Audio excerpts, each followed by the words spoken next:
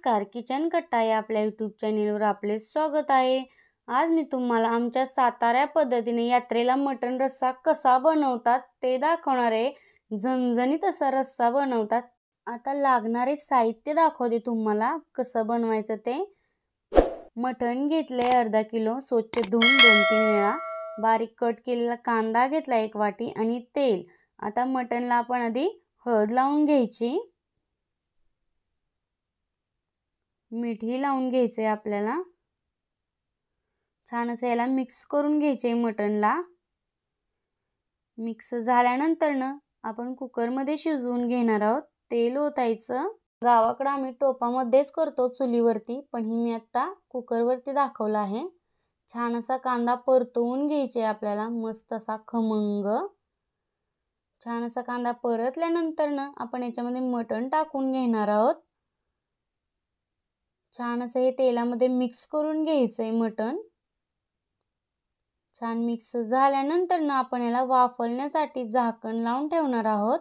आणि मी याला साईडला गरम पाणी करत ठेवलं एका टोपामध्ये. जरा वेळानं आपण उघडून बघूया. छान असं मटण आपलं वाफवलं आहे याच्यामध्ये आता आपण एक टोप गरम पाणी ओतणार आहोत. गरम पाण्यामुळे खूप छान अशी टेस्ट येते. आम्ही गावाकडं असंच बनवतो. छान असं हे मिक्स करून घेऊयात. मिक्स झाल्यानंतर ना याला झाकण लावून पाच सिट्ट्या करून घ्यायच्यात आपल्याला. तोपर्यंत आपण मसाला कसा बनवायचा ते दाखवते.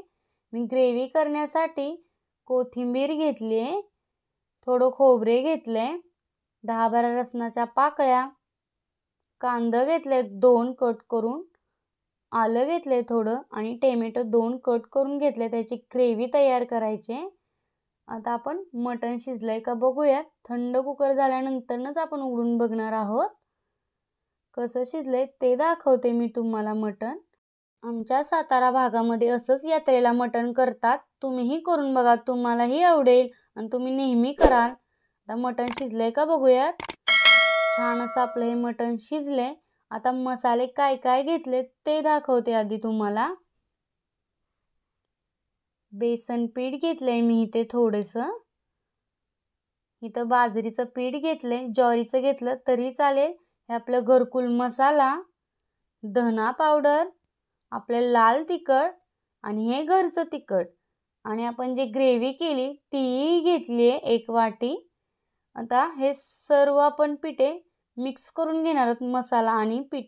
सर्व असं मिक्स करून घ्यायचं आणि नंतरनंच आपल्याला मटण रस्सा बनवायचे. छान असा यात्रेसारखाच बनतो. तुम्ही कधीही बनवा आणि सांगा मला.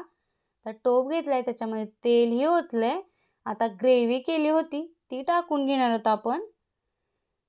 छान अशी ग्रेव्ही परतवून घ्यायची आपल्याला. मस्त अशी सुंदर आपली परतून झाली ग्रेव्ही. आता आपण जे मिक्स केले होते मसाले काय काय घेतलं होतं? ते मी दाखवले तुम्हाला मिक्स केलेलं. ते टाकूयात. हे सर्व असं मिक्स करून घ्यायचं.